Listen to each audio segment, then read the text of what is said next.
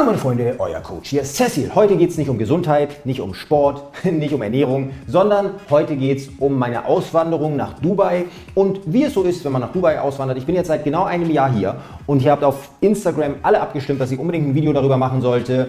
Deswegen kommt das heute und zwar nach dem Intro.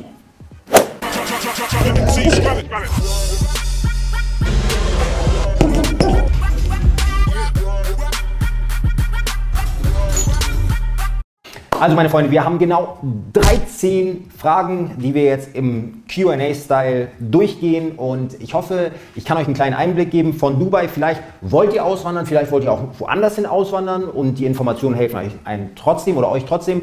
Vielleicht wollt ihr gar nicht auswandern und möchtet einfach mal ein bisschen was ja, Inside Dubai hören. Wie dem auch sei, auf jeden Fall starten wir direkt jetzt. Du Cecil, also nach Dubai auswandern, das wäre auch interessant für mich, aber wie mache ich das denn? Also mache ich mich da selbstständig? Kann man da eine Firma aufmachen? Muss ich mich anstellen lassen? Wie macht man das denn überhaupt? Also, der einfachste Weg ist natürlich, sich anstellen zu lassen. Das ist wirklich easy. Dann kümmert sich die Firma um alles. Die ganzen Beantragungen von Emirates ID, also da kriegt man wie so einen Personalausweis über eine gewisse Zeit. Dann Resident Visa muss man beantragen. Diese ganzen Sachen. Wenn man sich anstellen lässt und die Firma einen hierher holt, das ist das Einfachste. Da braucht man auch nicht wirklich viel Startkapital, eigentlich gar kein Startkapital. Das ist der leichteste Weg. Das habe ich nicht gemacht, sondern ich habe hier natürlich eine eigene Firma eröffnet. Wenn man eine eigene Firma eröffnen will, dann braucht man schon Startkapital. Also für die ganze Anmeldung, für die Firma das anzumelden, dann muss man ein Büro äh, sich anmelden und man zahlt in Dubai immer alles fürs ganze Jahr voraus. Also man eröffnet die Firma und zahlt dann für das ganze Jahr die Gebühren und dann im nächsten Jahr wieder fürs ganze Jahr. Also es geht hier in Dubai fast alles immer nach Jahresmieten. Und da braucht man schon wirklich so 15.000, 20.000 Euro. Man hat zwei verschiedene Möglichkeiten. Einmal kann man, dafür braucht man allerdings Kontakte, in Dubai mit einem Einheimischen eine Firma eröffnen. Und die zweite Möglichkeit ist, dass man in der Free Zone, also in der Freihandelszone, eine eigene Firma aufmacht. Dann ist man wirklich autark und ja, ist der eigene Herr sozusagen. Bei der anderen Möglichkeit ist dann zwar jemand mit drin in der Firma, aber es ist jetzt nicht so, dass die euch irgendwie einschränken oder so. Ne? Also beide Möglichkeiten gehen, kosten allerdings also einmal sehr viel Geld und man muss sich um sehr viele Sachen kümmern. Also man muss die Emirates ID selber beantragen, man muss sich ums Büro kümmern, man muss Resident Visa beantragen. Es gibt ganz, ganz viele Schritte, die man da machen muss und man braucht sicherlich dafür zwei bis drei Monate, um das alles äh, praktisch wirklich ähm, ja, an, an Start zu bekommen. Hm, interessant, aber was ist eigentlich mit den Wohnungen? Also ist es da leicht, eine Wohnung zu finden und wie teuer ist das eigentlich? Wohnung finden ist gerade zurzeit günstig. Also die Preise gehen echt runter. Also jetzt gerade findet man sehr günstig, sogar in guten Lagen, also jetzt zum Beispiel Dubai Marina am Yachthafen oder JBR, findet man Wohnungen vergleichbar mit den Mietpreisen in Hamburg, sage ich jetzt mal, oder in München. Also nicht so teuer und zentral gelegen, direkt am Strand, wirklich sehr gut. Also die Preise, die Mietpreise sind in den letzten ein, zwei Jahren um 20, 30, 40 Prozent runtergegangen. Also wirklich günstig. Und der Grund ist, weil in Dubai wird gebaut ohne Ende. Und das ist so geil, weil es entstehen immer ganze neue Viertel, also komplett neue Sachen, die dann einfach ja, aus nichts da sind innerhalb von zwei Jahren. Also es ist wirklich krass. Also es werden Wohnungen gebaut, gebaut, gebaut. Und deswegen eigentlich egal, wo man in Dubai hingeht und so ein Gebäude sieht und sagt, oh, hier würde ich eigentlich ganz gerne wohnen, kann man im Internet gucken, auch das Gebäude. Und da sind sicher zwei, drei, vier Wohnungen frei in dem Gebäude. Und das kenne ich aus Hamburg gar nicht. Also in Hamburg, da, da hast du auf eine Wohnung 50, 60 Bewerber. Also das ist wirklich ein Unterschied. Deswegen ist jetzt gerade nach Dubai ziehen von den Mietpreisen her echt günstig. Aber es ist fast immer so, dass man die gesamte Jahresmiete auf einmal zahlen muss. So war es früher immer, aber heutzutage, weil die Wohnungen nicht mehr so schnell vermietet werden, lassen sich einige Vermieter auch darauf ein, in zwei Raten, in drei, in vier Raten zu bezahlen, also halt vierteljährlich oder halbjährlich. Aber standardmäßig müsst ihr wissen, dass es meistens immer nur eine Jahresmiete ist. Also ihr müsst schon mal das Geld für ein Jahr Miete auch noch beiseite haben. Also einmal, wenn man eine eigene Firma anmeldet, muss man schon mal so 20.000 beiseite haben. Und wenn man dann noch eine Wohnung fürs ganze Jahr kaufen will, nochmal, keine Ahnung, 15.000, 20.000 Euro. Und deswegen ist der leichteste Weg halt, sich anstellen zu lassen, weil dann kümmert sich die Firma auch um die Wohnsituation. Das ist dann wirklich einfacher. Ah, das ist ja echt ganz gut, ne? Aber sag mal, wie sind denn so allgemein die Lebensunterhaltskosten in Dubai? Weil man sieht ja immer Dubai, Millionen, alles nur Millionäre und so. Kann man da auch ganz normal wie in Deutschland leben, oder? Ja, die allgemeinen Kosten. Man kann in Dubai ohne Probleme eine Million jeden Monat ausgeben. Das funktioniert. In Dubai funktioniert es. Aber im Großen und Ganzen ist Dubai eigentlich genauso wie Deutschland. Also man hat verschiedene Sachen, die hier sehr viel teurer sind, aber man hat auch viele Sachen, die hier sehr, sehr viel günstiger sind. Also wenn man zum Beispiel Gemüse kauft, dann ist es viel günstiger als in Deutschland. Also wirklich zum Teil viel günstiger. Und so Sachen wie Ingwer kostet hier, glaube ich, ein Kilo 2 Euro oder so. Oder Papaya, ein Kilo 2 Euro. Also, oder Möhren, irgendwie ein Kilo 40 Cent. Also das sind Sachen, die sind hier wirklich richtig günstig. Auf der anderen Seite ist Benzin auch richtig günstig, das wisst ihr wahrscheinlich. Also wirklich nur ein Viertel von unserem Preis. Dann, wenn man ein Auto versichert zum Beispiel, sehr günstig. Also ein Bekannter von mir hier in Dubai hat einen Rolls Royce und ihr wisst wahrscheinlich, was ein Rolls Royce in der Versicherung in Deutschland kostet. Also so ungefähr 1000 Euro im Monat oder so. Und hier in Dubai hat er das Auto versichert für 2000 Euro im Jahr. Das sind 160 Euro. Ihr wisst, was ihr für euren, egal welchen Wagen ihr habt, an Vollkasko bezahlt. Und das ist hier für ein Rolls Royce. Also Versicherung, auch Krankenversicherung, das ist alles wirklich hier viel günstiger als bei uns. Aber so Sachen wie Mieten sind halt schon so gehobener Preis in München oder, oder Hamburg. Und äh, was ist hier noch teuer? Ja, einkaufen gehen. Also zum Beispiel, wenn ihr shoppen geht oder so. Das ist hier auch teurer als in Deutschland. Aber im Großen und Ganzen kommt man mit dem Geld, wenn man vernünftig umgeht, ja, genauso aus wie in Deutschland eigentlich. Hm, das ist echt interessant. Wie sieht es da eigentlich mit der Kriminalität aus? Kriminalität gleich null.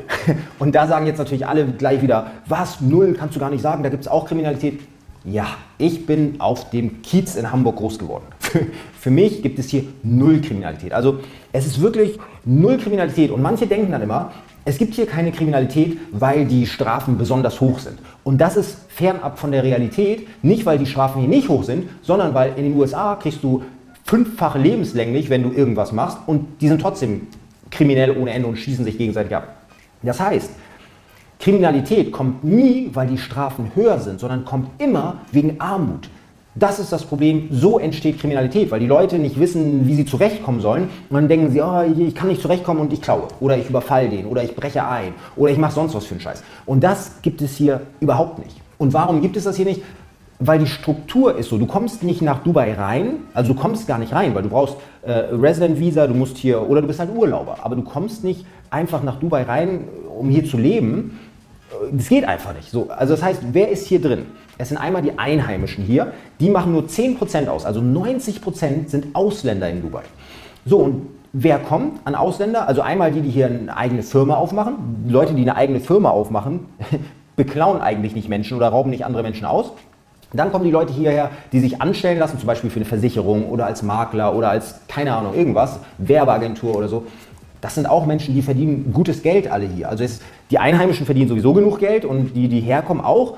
Und die, die nicht so viel verdienen, das sind die Arbeiter praktisch.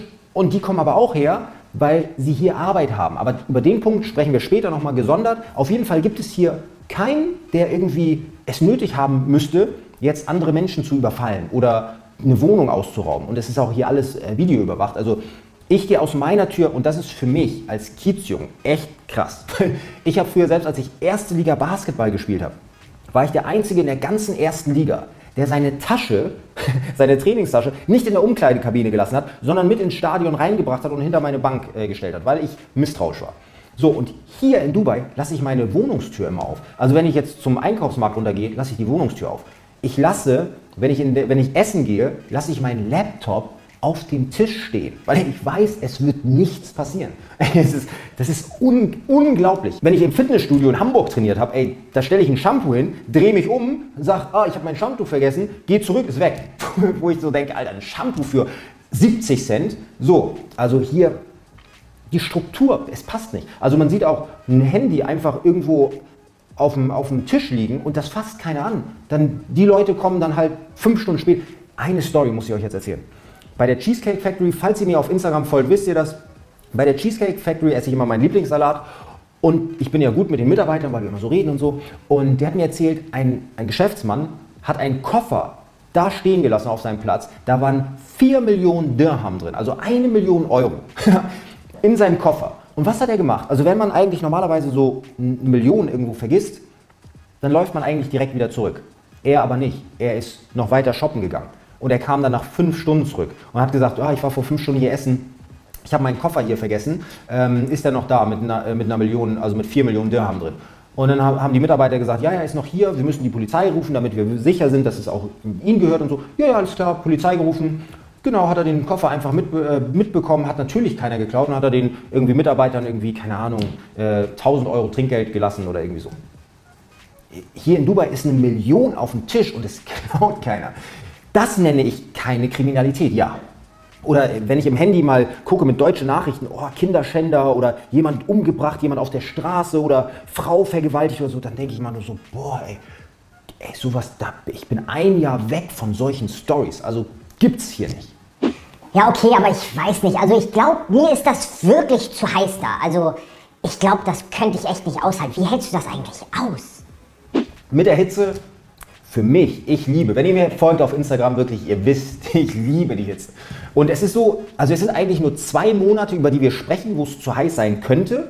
Für mich nicht. Aber in den zwei Monaten gehe ich jetzt auch nicht an den Strand und lege mich dann an den Strand. Nein. Sondern in den zwei Monaten hält man sich halt in den Räumen auf oder in der Mall auf oder fährt im Auto von A nach B. Und hier das Gute in Dubai ist, alle Klimaanlagen, du steigst in ein Auto ein, drückst auf den Knopf, es ist kühl. Sofort. In Deutschland, weiß ich noch, wenn es mal Sommer war, dann setze ich mich ins Auto, ich bin schon längst angekommen, 20 Minuten bevor die Klimaanlage überhaupt irgendwas hochbringt. So, oder in, in der Wohnung.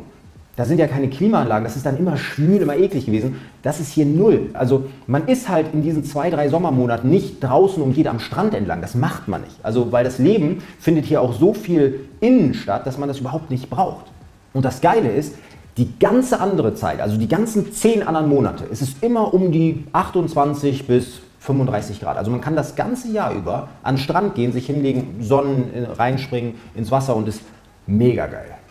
Okay, verstehe. Mm. Und wie sind so die zwischenmenschlichen Beziehungen? Also wie sind die Menschen da eigentlich? Ja, die Menschen, ey. Das war ja mit ein Grund, warum ich ausgewandert bin. Also dieser Stress von den Menschen. Ne? Also so echt gestresst sein.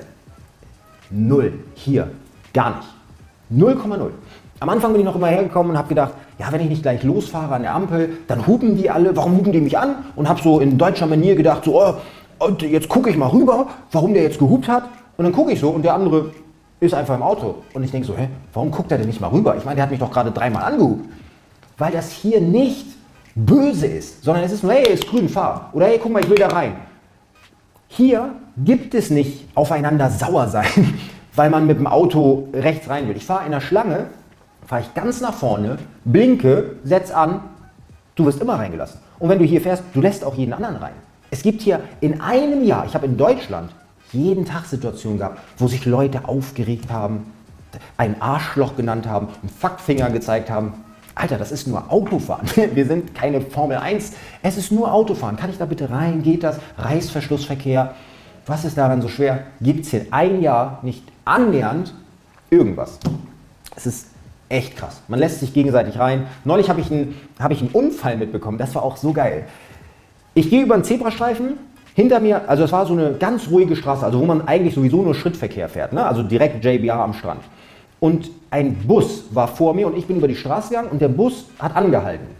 Und dahinter war ein LKW. Und der LKW hat es wohl nicht gecheckt und ist voll gegen den Bus hinten reingeknallt. Und der Bus ist richtig so ein Satz zu mir. Also nicht jetzt bedrohlich nah, aber ich habe schon gedacht, so, oh, ey, was war das denn?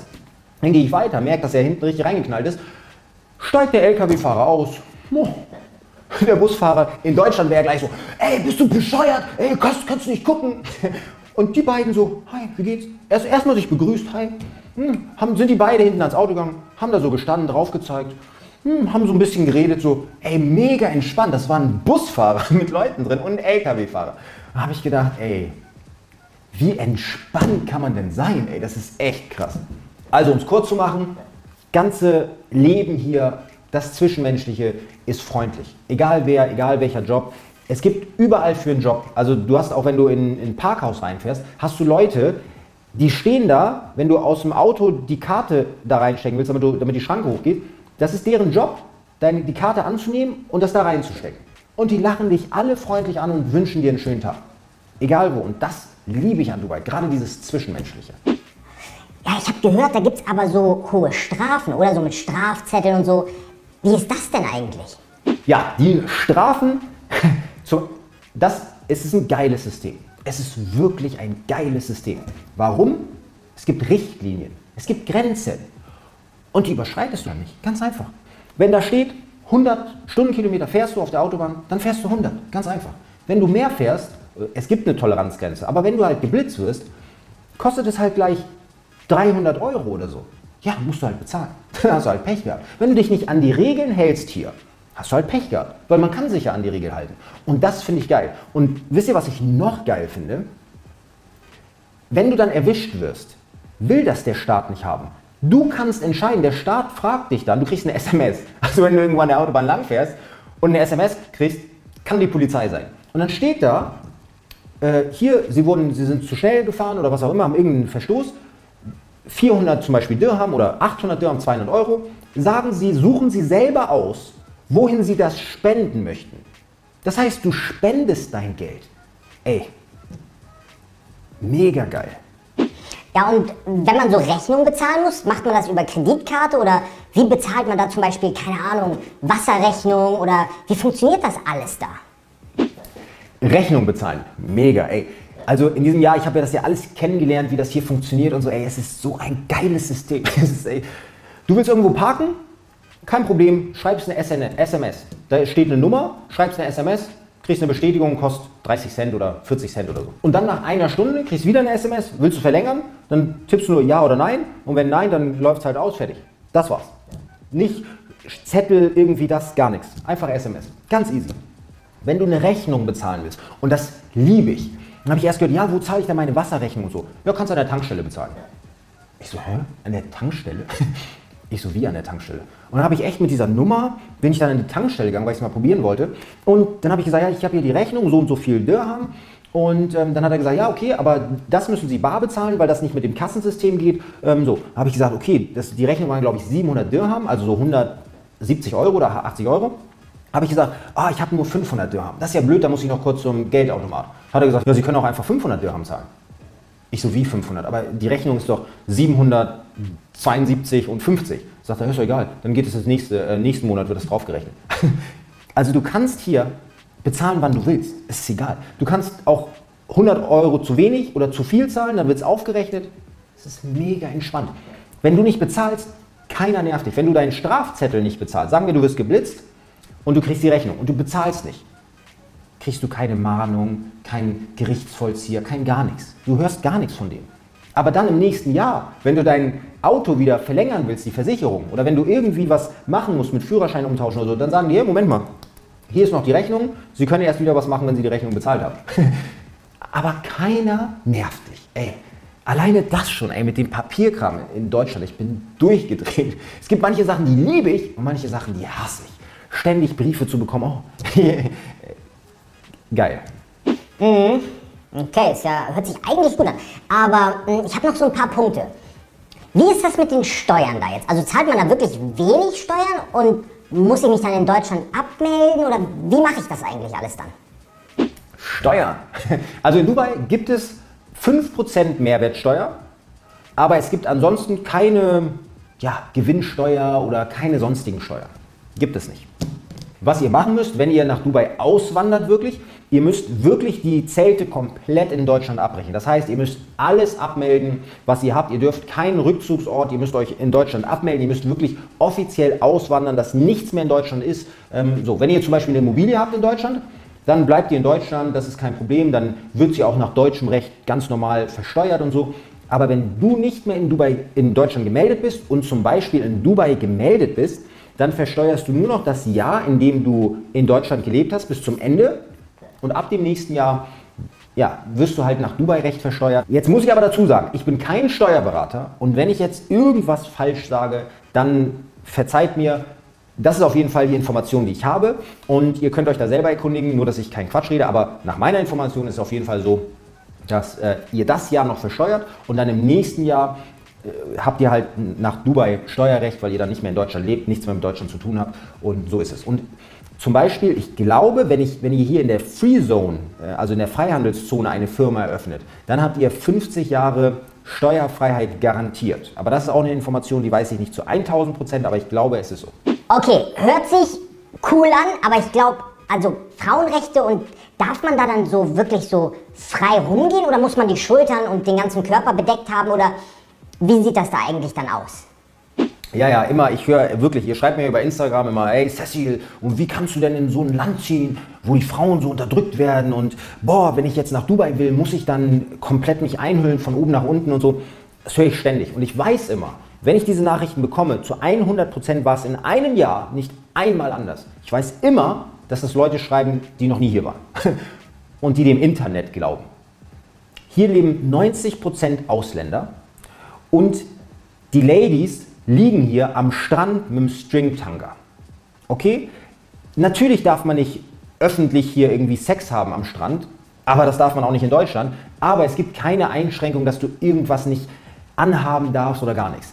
Wenn man in Behörden geht, also Behördengänge hat, dann ist es eine Form von Respekt hier, dass man zum Beispiel da nicht in Badelatschen und kurzer Hose reinspaziert. Den Fehler habe ich am Anfang auch gemacht, als ich die ganzen Anmeldungen machen musste, da war ich in einer kurzen Hose. Hat der Security-Mann gesagt, nicht mit kurzer Hose, kaufen Sie sich eine lange Hose. Und dann bin ich echt unten in so einen Sportladen gegangen und habe mir so eine lange Jogginghose gekauft, dann war es okay. Also es gibt halt hier Respektform. So, ey, das ist eine Behörde offiziell, da soll man sich ja angepasst anziehen, nicht wie so ein blöder Urlauber. Aber ansonsten, ey, ist, ist alles Hirngespinst, was im Urlaub steht. Das schreibt niemand, der schon mal hier war. Ist einfach Quatsch. Ich würde sogar sagen, im Gegenteil. Gerade die Frauen haben hier so ey, Privilegien, das ist unglaublich. Also zum Beispiel, wo ich gerade sage, in der Behörde, gibt es immer vorne die erste Reihe, ist nur für Frauen. Das ist ein rosane, sind rosane Stühle und da dürfen sich nur Frauen hinsetzen, das ist vorne. Und die Männer müssen dahinter. So, oder es gibt Taxen extra für Frauen. Also das Taxi fährt auch eine Frau, das sind die Taxen, die so ein äh, rosanes Dach haben. Dann haben sogar, ich glaube, in der, in der Bahn, in der Metro, haben Frauen sogar auch ein extra Abteil, wo sie dann nicht gestört werden wollen von den Männern. Also alles Privilegien. Pff, krass. Oder was ganz krass war, habe ich auch schon mal auf Instagram erzählt. Es gab hier einen Frauenwelttag. Also es gibt ja einen Frauenwelttag, nicht nur hier, sondern überall. Und an dem Tag haben sie vom Staat her gesponsert an alle Frauen, die mit Kindern unterwegs waren, Rosen verteilt. Haben sie gesagt, ja, Mutter, herzlichen Glückwunsch, Frauenwelttag, eine Rose verteilt. Haben die hier Veranstaltungen gemacht. Habt ihr irgendwo anders schon mal eine Rose bekommen am Frauenwelttag?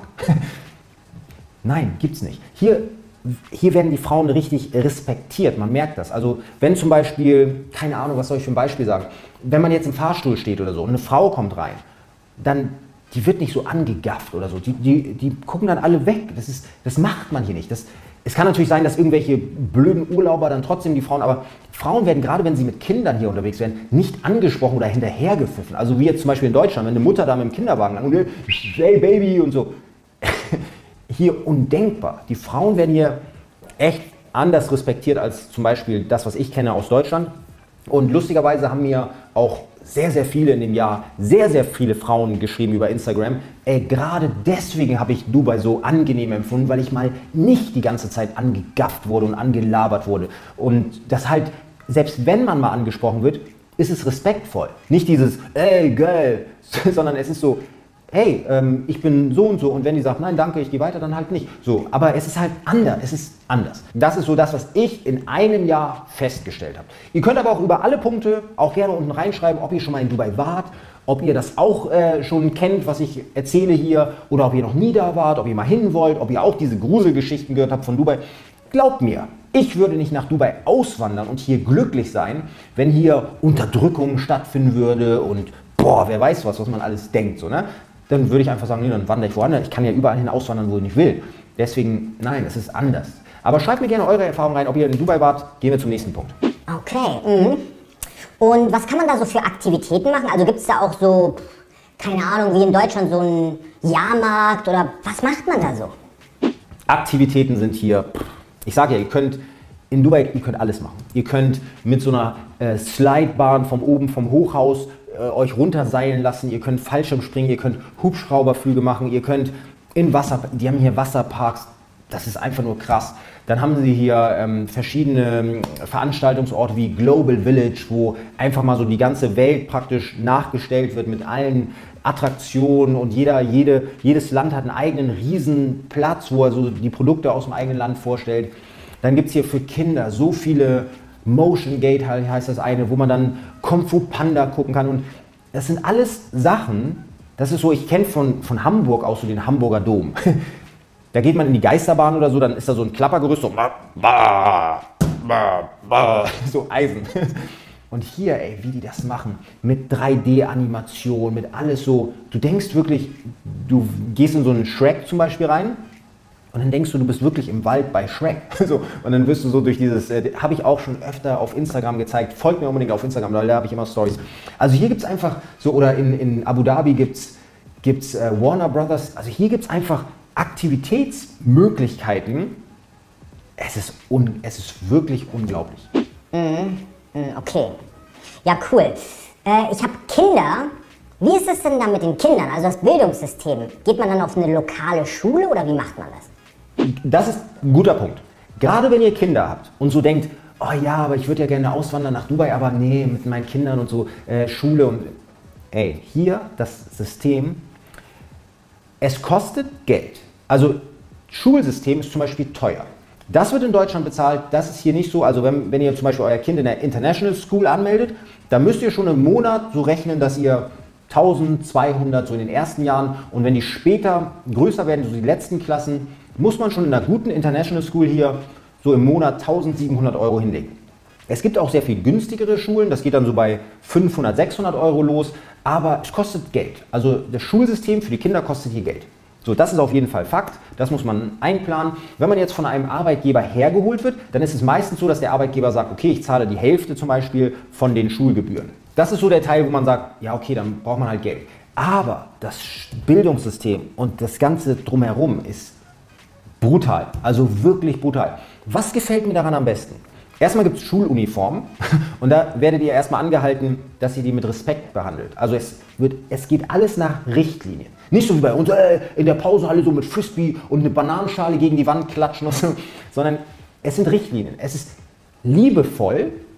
Ich habe da Sachen gesehen, es ist wirklich liebevoll, aber strikt. Also wenn zum Beispiel äh, jemand auf dem Schulhof, so die älteren Schüler, haben die eine Krawatte und wenn die Krawatte dann so aufgemacht ist und das Hemd ist hier auf, dann guckt der Security und sagt, Krawatte zumachen. Und die machen das dann zu und gehen weiter. Oder wenn man durchs Schulgelände geht und da sind so aus der, sagen wir mal, siebten Klasse oder so und die gehen von einer Klasse in die andere Klasse, dann gehen die in einer Reihe. Ey, die gehen in einer Reihe. Alle freundlich, alle nett. Eine Null-Mobbing. Wenn du mobst, wirst du rausgeschmissen aus der Schule. Es gibt eine Null-Toleranz Grenze. Null. Also es gibt kein Mobbing. Das ist nicht gewünscht. Und es ist so ein, so ein gutes, ich finde das gut, weil es ist einmal so liebevoll und so unter Kontrolle. Also da, dass das Kind irgendwie so abdriftet oder so Drogen nimmt oder so Drogen. In Dubai, ich meine, es wird wahrscheinlich irgendwo Drogen geben. Aber so, wenn ihr Angst habt in Deutschland zum Beispiel, oh, Alkohol oder Drogen oder Abdriften, in Dubai ausgeschlossen. In Dubai ausgeschlossen. Geht gar nicht. Und das ist das, was geil ist. Und wenn das Kind zum Beispiel nach Hause kommt, dann machen die Eltern mit dem Kind Schulaufgaben, weil die Eltern müssen jeden Tag im Schulheft, also die Aufgabe, dann zusammen machen und die Eltern müssen jeden Tag einen, Ab, einen also unterschreiben. So, und dann nimmt das Kind das mit. Das heißt, es ist ein geiles System, dass die Eltern sich kümmern müssen. Nicht so, ah, warst du in der Schule, keine Ahnung, ist mir scheißegal. Sondern die Eltern müssen sich kümmern, die Eltern müssen unterschreiben, das Kind muss abgeben. Es ist alles so geregelt. Und das ist, ey, das finde ich mega geil. Und was ist zum Beispiel auch geregelt? Ihr wisst, mit meinen gesamten, gesamten Gesundheitsvideos, jetzt sind vielleicht neue Zuschauer hier, die sich für Dubai interessieren, aber auf meinem Kanal geht es ja um Gesundheit, Gesundheit, Gesundheit was in Deutschland los ist mit dem Gesundheitssystem. Ey, nein, McDonald's ist gesünder für dich als eine Paprika. Das äh, bekommt ihr auf Quarks zu hören, auf einem Wissenschaftssender. Es ist brutal. Wie ist es hier in Dubai? Ministry of Education hat ein Gesetz praktisch erlassen für alle Schulen. Die müssen sich alle dran halten. Sieben verbotene Nahrungsmittel. Und das waren irgendwie so, man darf in die Schule keine Cola, Fanta und so mitnehmen. Man darf keine Chips mitnehmen. Man darf keine Schokolade, Süßigkeiten mitnehmen. Man darf, was war das noch? Das waren so sieben Sachen, wo ich sage, Alter, richtig gut. Dürfen die nicht, ist verboten. Darfst du nicht mitnehmen. Ey, wie geil ist das? Das heißt, es bewahrt eure Kinder vor dem sicheren Tod, vor den 70 Prozent der Menschen, die an den Zivilisationskrankheiten durch eine schlechte Ernährung und Lebensführung sterben. 70 Prozent. Davor bewahrt euch dieses Gesetz. Ich finde das mega. Wenn ihr lieber keine Kontrolle über euer Kind haben wollt und einfach, äh, keine Ahnung, was heute in der Schule, morgen, äh, egal wie, Schulaufgaben, egal. Wenn ihr das lieber mögt, weil das Kind dann, keine Ahnung, sich freier oder was auch immer, dann macht ihr das. Aber ich finde das System mega gut.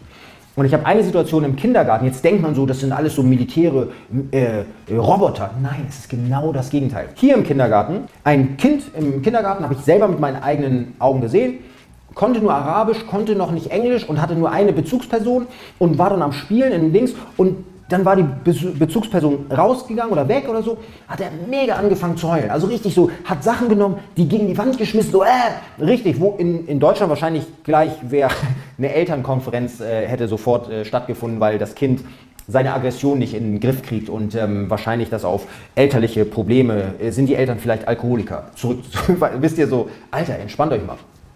Was haben die gemacht? Die waren nicht sauer auf den Kind.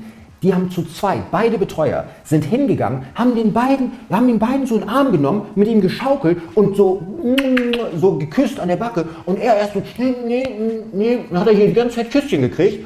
Und er so, und dann hat er gelacht, haben die nach 10 Sekunden wieder runtergelegt und dann ist er wieder zu seinem Spieldings gehabt und mit allen weitergespielt. Da dachte ich, ey, liebevoll, aber trotzdem strikt. Setzt euch an den Tisch, macht die Hände so, wenn Essen kommt, so, aber liebevoll. Wenn dann ein Kind nicht macht, es ist eine andere Welt. Also, um es kurz zu machen, wenn ihr Kinder habt und denkt, oh nein, Dubai, ich weiß nicht,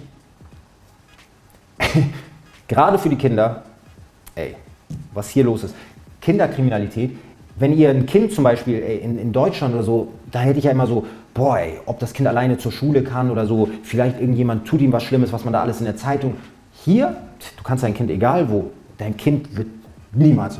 Jemand hier in Dubai, Frauen oder Kinder anzugreifen, oder ist hier unvorstellbar. Dein Kind kommt sicher nach Hause, sicher. Sicher, okay? Es ist unglaublich.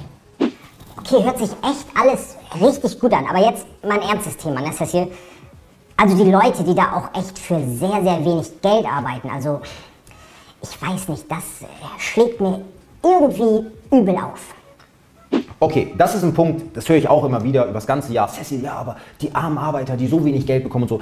Und ich habe jetzt in einem Jahr wirklich äh, insgesamt mit, keine Ahnung, jeden zweiten oder dritten Tag spreche ich mit jemandem von denen, also mit den Arbeitern, mit dem Hausmeister, mit den Taxifahrern, mit den Leuten, die im Restaurant arbeiten, mit den Leuten, die im Fitnessstudio arbeiten, mit allen. Ich habe in einem Jahr mit allen geredet. Und die, die hier für unsere Verhältnisse wenig verdienen, die Leute können sich immer nicht vorstellen, dass es in anderen Ländern noch schlimmer ist. Also dass sie in ihrem eigenen Land zum Teil überhaupt keine Möglichkeit haben, die eigene Familie zu ernähren. Keine Möglichkeit. Stell dir mal vor, du bist, äh, keine Ahnung, ausgebildeter Fliesenleger, aber dein Land ist am Arsch und du kannst, hast da nirgendwo einen Auftrag. Du hast keine Möglichkeit, Geld zu verdienen. Und in Dubai auf einmal suchen die Fliesenleger. Ohne Ende. So, und du hast die Möglichkeit, von einer Firma dahin geholt zu werden. Und natürlich lebst du in einem kleinen Raum. Natürlich hast du nicht, eine, wie wir das bei uns denken, so, ey, jeder muss äh, ab zwei Personen mindestens eine 80 Quadratmeter Wohnung haben. Wo leben wir denn? Das ist nicht die Welt. Das, wie wir leben, wir leben besser als 90 Prozent. Der Großteil der Menschen verdient nicht mehr als zwei Dollar am Tag. Okay? Wenn die Leute hierher kommen und arbeiten, und sagen wir, wenn es nur für 400, 500 Euro ist, dann können die damit das Leben der Familie retten. Das ist die Realität. Und deswegen sind die hier unglücklich, weil sie nur 400 Euro verdienen oder sagen sie, ey, das ist die beste Möglichkeit für mich. Hier, ich bin so dankbar. Und deswegen machen die auch keine Kriminalität oder gar nichts, weil die freuen sich, dass sie hier die Möglichkeit von Dubai bekommen haben. Die sind so stolz. Ich habe gesehen, äh, zum Beispiel im Busch Khalifa, als ich da mal war im Fitnessstudio, die Leute, die da putzen, die haben dann mit ihrem Handy Fotos gemacht, so ganz stolz im Busch Khalifa mit dem, äh, mit dem äh, Besen hier so in der Hand. Und dann sind wir reingekommen um die Ecke und dann haben die gesagt, oh sorry, sorry, wollten wir nicht. Nein, nein, mach Fotos, kein Problem. Die sind stolz, dass sie hier nach Dubai kommen können, so viel Geld verdienen können, dass sie ihre Familie retten können. Und alle, mit denen ich gesprochen habe, wirklich alle, mit denen ich gesprochen habe, sind mindestens schon vier, fünf, sechs Jahre hier und ähm, sind gern hier. Alle. Wenn ihr andere Erfahrungen gemacht habt, Habt ihr andere Erfahrungen gemacht? Gerade weil mich dieser Punkt so interessiert und ich immer mit den Menschen rede, ich, frage ich wirklich alle immer. Und das Einzige, womit die natürlich ein Problem haben, ist, dass die Familie im anderen Land ist und dass sie hier alleine sind. Und das ist natürlich traurig. Dann haben die Kinder da und dann vermissen sie die Kinder und so. Das ist traurig. Aber der Arbeitgeber man kann immer einmal im Jahr, gibt der Arbeitgeber einem für einen Monat frei und die können dann nach Hause reisen. So, und das ist meine Erfahrung. So, ey, wir in Deutschland denken immer gleich, wenn jemand nicht 1500 Euro verdient und mindestens in einer Ein- oder Zwei-Zimmer-Wohnung allein lebt, dann ist es gleich die größte Abzocke der Welt. Nein. Realität. Okay, wir müssen in Deutschland mal so ein bisschen so, ey, lass mal, wir, ey, wir haben Glück. Okay, wir haben Glück, dass gerade keine Kriegssituation ist bei uns. Sonst würden wir vielleicht auch zu 30 in, keine Ahnung, in ein, einer Wohnung sein. Okay? Ey, diese, diese Wohlstandsfalle, in der wir immer sind, ist krass. So, und das ist die Realität, wie es hier wirklich aussieht. Und deswegen kann ich nur sagen, gerade die Leute sind mega happy, dass sie die Möglichkeit haben, hier an, an sowas teilzunehmen. Und deswegen gibt es da auch keine Kriminalität oder gar nichts, weil ey, die sind froh. So, was für Kriminalität. Puh, wow, ey, das waren echt viele Informationen. Vielen Dank, dass du mir das so ausführlich erklärt hast. Ich finde das wirklich sehr, sehr interessant. Und wow, ich muss echt mal drüber nachdenken. Vielleicht wäre Auswandern für mich auch ein Thema. Ja, also ich hoffe, das Video hat euch gefallen. Ihr könnt gerne drunter schreiben, ob ihr auch schon mal in Dubai wart. Ihr könnt gerne alles Mögliche runterschreiben. Das war jetzt wirklich ein, ein Video als Fazit für mich. Was kann ich sagen als Fazit? Ich habe ja, als ich ausgewandert bin hierher, haben ja ganz viele Leute gesagt so, ja Cecil, aber äh, äh das, das wird dir bestimmt auch nicht... Oder ja, wenn du da dich im Urlaub wohlgefühlt hast, dann heißt das ja nicht, dass du dich... So, ey, ich fühle mich hier viel wohler, als ich es damals vor einem Jahr gedacht hätte. Also wirklich. Und von daher kann ich nur sagen, für mich, für mich, mich, mich, ist Dubai eine Stadt, gibt es nicht. Also für mich ist das, für mich ist es die schönste Stadt der Welt. Warum? Weil die Leute entspannt sind, weil man das ganze Jahr über tolles Wetter hat, weil man an den Strand gehen kann, man kann in die Mall gehen, kann Skifahren, man kann hier alles kaufen, man hat ein gutes Bildungssystem, man hat ein gutes ähm, Versorgungs- medizinisches System, man hat, man hat hier alles. So, es ist für mich keine Steuern, man zahlt hier keine Steuern. So, es sind alles äh, keine Kriminalität. Ich bin auf dem Kiez groß geworden. Kriminalität, ey, ich habe immer als erstes gedacht, was muss ich abschließen, wo muss ich meine Autotür zumachen? Keine Kriminalität. Das sind alles Faktoren, wo ich sage, wo gibt es das auf der Welt? Wo? Vielleicht gibt es äh, Städte, die auch cool sind, aber keine Kriminalität und noch keine Steuern und noch immer gutes Wetter und die Leute sind entspannt Gibt es nicht. So, und deswegen ist es für mich mein Fazit nach einem Jahr. bleibe definitiv noch äh, länger hier. Und ähm, ja, ich hoffe, ich habe euch einen kleinen Einblick gegeben über Dubai. Und ähm, ich hoffe, das Video hat euch gefallen, auch wenn es heute nicht um Ernährung ging oder Gesundheit oder irgendwas. Aber vielleicht wollte irgendjemand da draußen was über Dubai hören. Und genau, das ist das Video für heute. Ich hoffe, es hat euch gefallen. Und bis bald, euer Coach Cecil. Are you listening? Damn.